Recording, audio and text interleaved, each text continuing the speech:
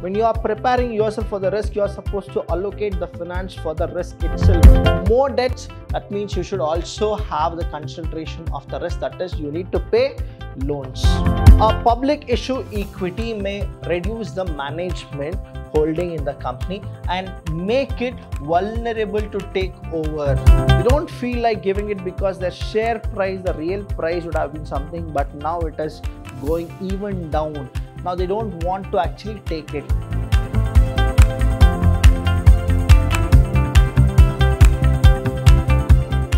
Hello, everybody. A warm welcome to one and all. I'm Abhilash Chandra from the Department of Business Studies in Vidhyaashram Pure College, the Temple of Excellence. Welcome to the session 8. Session 8 is all about the continuation of session 7. That is, we have the topic called as factors affecting the choice of capital structure.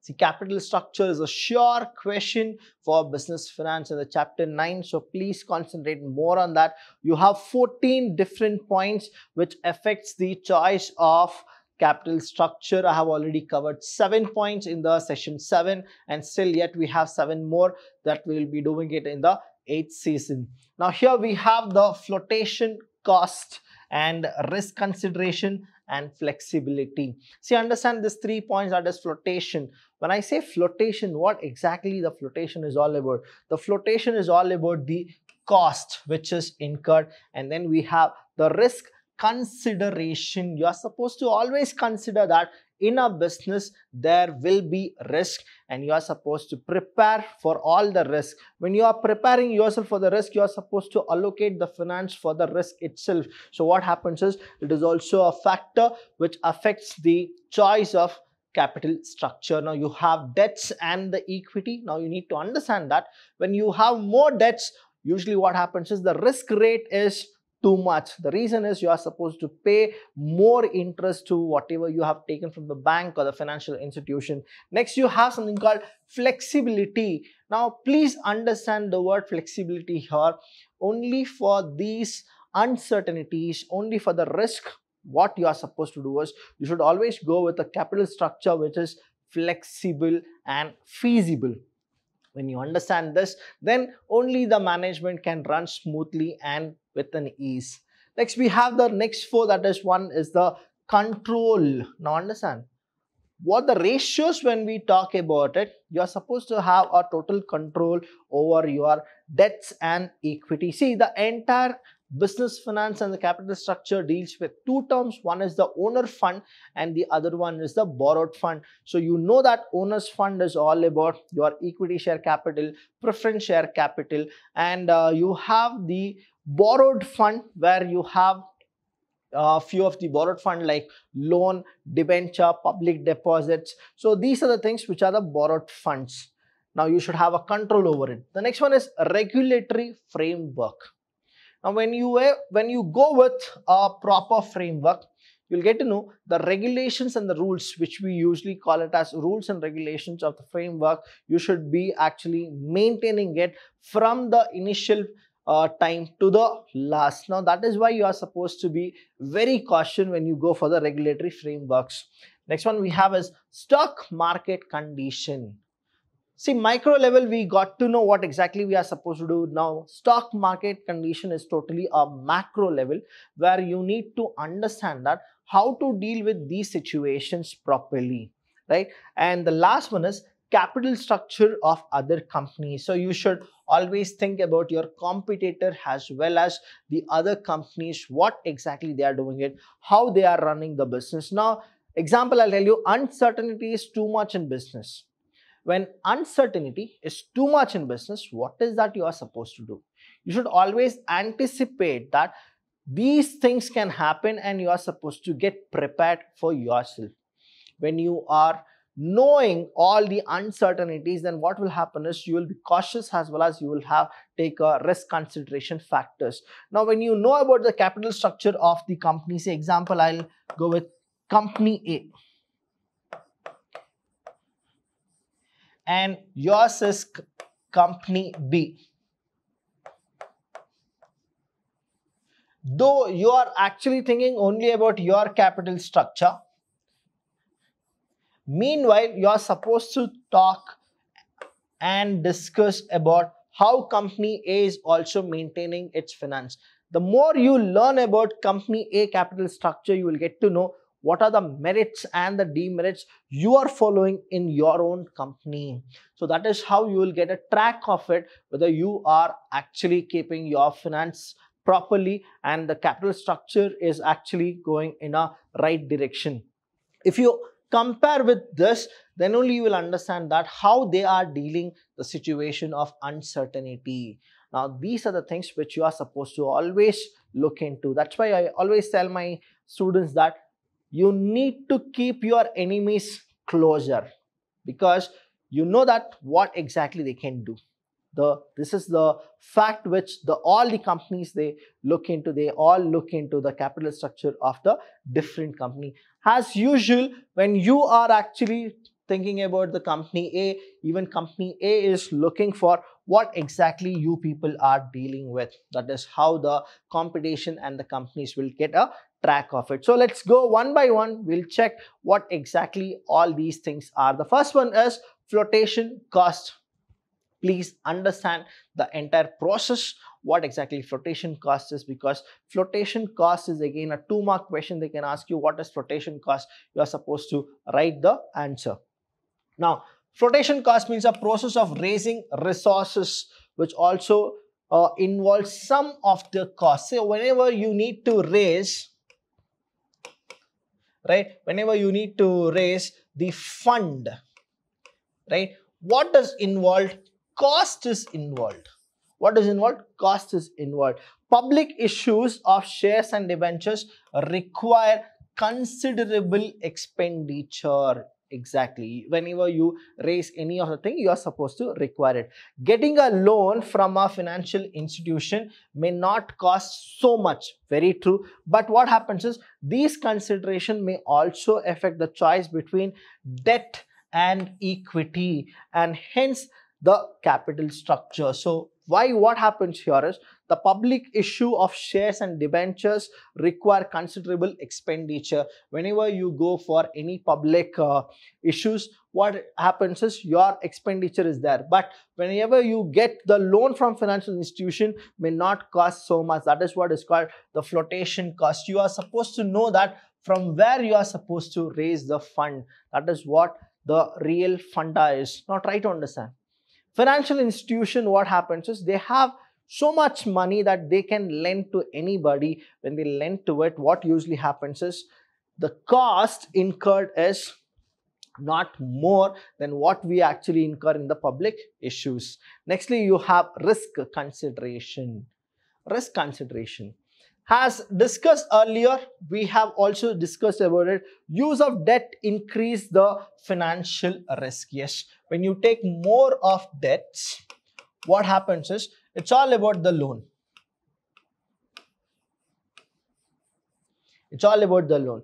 Financial risk refers to a position when a company is unable to meet its fixed financial charges, namely interest payments. See, when you go with debts that is a loan what is that you should actually go for? You will actually go with interest payment preference dividend and repayment obligation. so that is what the risk consideration. When you take more debts that means you should also have the consideration of the risk. That is you need to pay loans.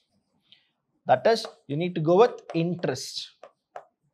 So only when you are able to take the loan in the sense only when you are supposed to feel that that yes i can pay the interest then only you are supposed to take the loan. Or else what happens is the risk consideration will come low. When it comes low it is really not good for the long run of any business.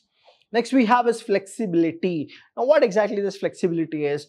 In the firm uses its debts potential to the full. Exactly.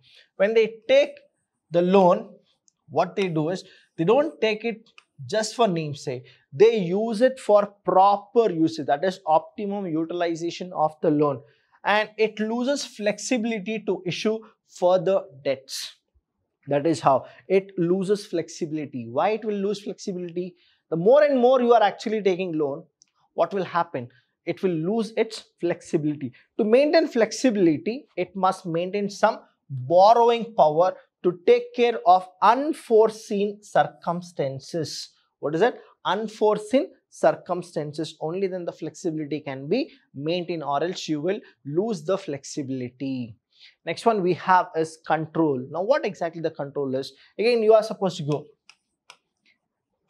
debt normally does not cause a dilution of control.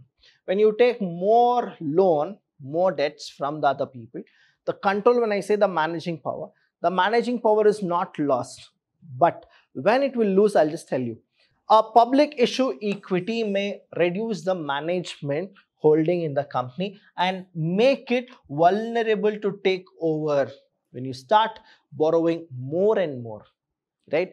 Then what actually happens is you will not have the potentiality that you can maintain the business. The more and more you are taking debts, what happens is control over the company will come down. When you will lose it, once again to get it back, you are supposed to make miracles. Only few of the companies are there who have survived even after taking more loan and they have come back. Now try to understand this, the control over it. I'll give you an example of kingfishers.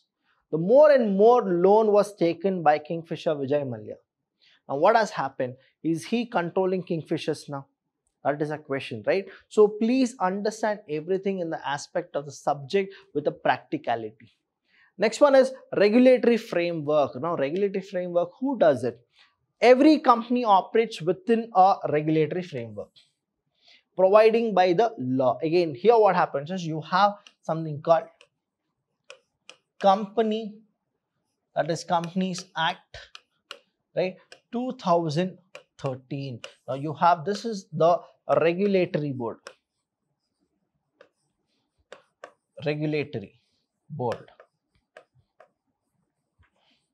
Right? This is the regulatory board public issues of shares made debentures have to be made under SEBI guidelines. So whenever you go with shares, right, you talk about shares.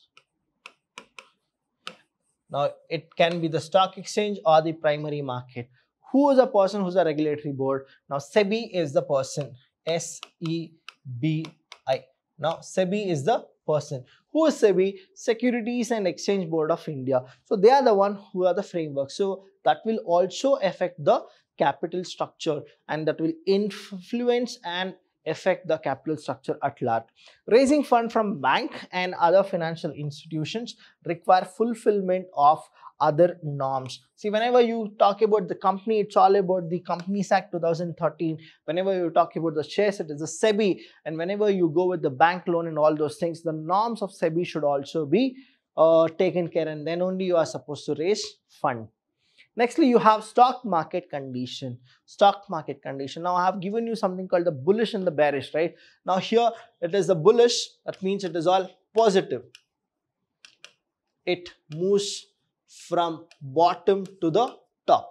And bearish when I say it goes down actually from the top to bottom. So we have bearish. B-E-A-R-I-S-H bearish. Now what exactly this happens here? Try to understand. If the stock market are bullish, equity shares are more easily sold even at higher prices equity share. The reason is what? Your shares were here, now it has touched here. Now what it is, easily you can sell it. But go with the next. Use of equity is often preferred by the companies in such situation. Now even the companies are happy that they want to give the shares. The reason is what? They would have taken uh, it for less price. Now it is bullish. It is going to the top. Now even the company is happy to sell the shares, right? Whereas, however, during a bearish phase, Bearish means what? From top to bottom. That is called bearish. A company may find raising the equity capital more difficult and it may opt for, it may opt for. That means what exactly here happens is they don't feel like giving it because their share price the real price would have been something but now it is going even down. Now they don't want to actually take it. That is what the thing is and it will affect totally it will affect the capital structure of the company. So whenever the bullish is there the company is also happy that it is selling its share with more value but when it comes to the bearish, what happens is now the company need to maintain their equity and that is how the it will affect the capital structure. Next one we have is the other one that is capital structure of other companies. You should also consider and you should always take care about what the other company is doing, what are their capital structure, how are they dealing with the debts and the equity, how are they dealing with the owner's fund and the borrower's fund. Only then you will understand that whether you are making a, a very good capital structure or you have a demerit with that. A useful guideline in the capital structure planning is the debt equity ratio. So one thing is what? You need to go with what? Debt equity ratio. You are supposed to go with debt equity ratio of other companies in the same industry. There are usually some industry norms which may help. Definitely, whoever have gone now, example, you have Infosys, right? Now, Infosys is there. Now, usually Infosys will always look into what exactly Wipro is doing or vice versa right? Because same kind of a software they are actually into software industry. So they go with one and one. Now you have companies like uh, you have Hyundai and you have Maruti right? Now Maruti and Hyundai they'll again go with what they'll compare their capital structure and Hyundai capital structure. If you understand they go one and the one same. Next is care however must be taken that the company does not follow the industry norm blindly. Even that is there. Whatever the industry norms is there the company shouldn't follow it blindly. They should check that what should be done and what not should be done. So only then they'll get to know that the capital structure whether they are maintaining is good or it is not at all very good. So here what exactly they'll get to know is when they start analyzing what the other company is doing that is the same industry which they are doing it they'll get to know the advantage as well as disadvantages of what the planning they have done. So these are the factors which affect the or it influence the factors of capital structure. So please understand this once again go back to the thing from the session 7 and session 8 both are the same topic with different different points. You are supposed to go through it. It's a very very easy chapter as well as a chapter where logic is more you are supposed to understand. If you have any doubt students we are always there to help you. Thank you so much. I'll see you in the next session. Until then i'll see you when i see you